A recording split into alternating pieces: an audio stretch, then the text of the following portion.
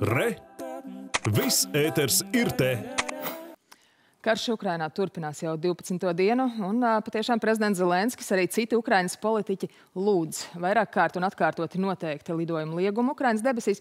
Tomēr NATO tam nepiekrīt. Debesu slēgšana virs Ukrainas nozīmētu draudus miljoniem eiropiešu. Tā ir paudusi Vācijas ārlietu ministre Anna-Lēna Bērboka. Man uz sarunu pievienojas diplomāts, kādreizējais aizsardzības ministrs, Latvijas ārpolitikas institūta vecākais pētnieks Imants Lieģis. Esiet sveicināts! Labdien! Lieģi kungs. Labdien, paldies! Jā, paldies, ka pievienojaties uz sarunu. Um, gribētu sākt ar to, ka jūs pats uh, Krievijas uzsākto karu Ukrainā esat salīdzinājis uh, kā Eiropas 11. septembri, dienu, kad teroristi uzbruka Amerikai. Dienu vēlāk, toreiz, pirmoreiz vēsturē tika iedarbināts NATO 5. pants, nu, bet Ukraina nav NATO vai no Ziemeļatlantijas alianses šobrīd. Ir pamatoti gaidīt ļoti izšķirīgus soļus. Nu, es domāju, ka NATO jau ir pierādījis, ka, ka, ka tā veids uh, faktiski izšķiros solis. Uh, notiek uh, liels atbalsts Ukrainai no atsevišķām NATO dalībvalstīm. Un dabīgi tas, ka teiksim, NATO dalībvalsts, NATO dalībvalsts kurš, kuras robežojās ar, ar Krieviju, ar, ar Ukrainu, Eh, tie NATO spēki, kas jau atrodas eh, šajās valstīs, tā skaitā Latvijā, tiek eh, pastiprināti un, un, un papildināti. Mēs to esam redzējuši pēdējās nedēļās. Brauc vairāk gan amerikāņu desantnieku Latvijā, gan itāļi, gan spāņi ir solījuši, gan kanādi, protams, papildinās savus spēkus tieši Latvijā. Un tas notiek gan visās Baltijas valstīs, gan arī uh, Rumānijā un, un, un, un Polijā. Polija, protams, spēlē ļoti nozīmīgu lomu šodien. Tā ir robeža valsts Ukrainai un dabīgi, teiksim, jebkur arī NATO Uh, papildus spēks, teiksim, ieročus, munīcijas un tā tālāk varētu, teiksim, nākt caur, tieši caur Poliju. Jā, Lieģi kungs, es tomēr gribu atgriezties pie jautājuma, kas kopš kara sākuma tiek cilāts atkal un atkal. Prezidents Zelenskis Citi Ukrainas politiķi ļoti uzstājīgi lūdz NATO nosakiet lidojumiem slēgtu zonu virs mūsu debesīm. Tas ir vienīgais veids, kā var apstādināt iedzīvotāju nogalināšanu, kas šobrīd notiek, piemēram, arī izsludinot šos humānos koridorus un pēc tam tos apšaudot.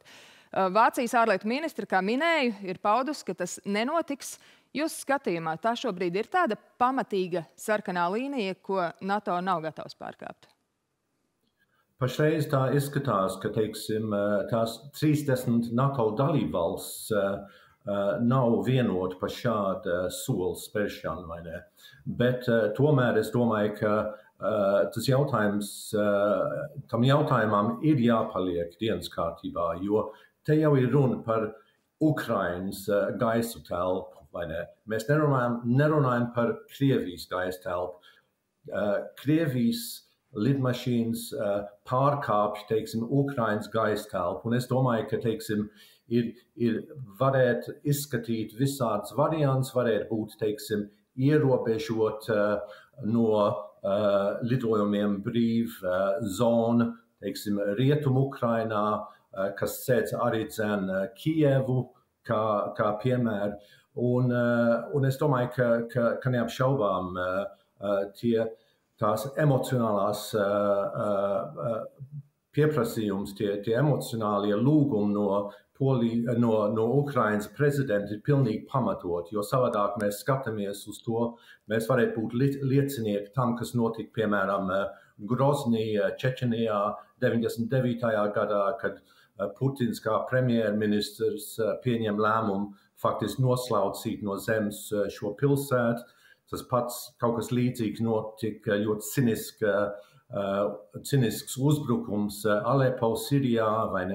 Tā kā es domāju, ka mēs neviens negribam redzēt, ka tas notiek uh, Kijevā.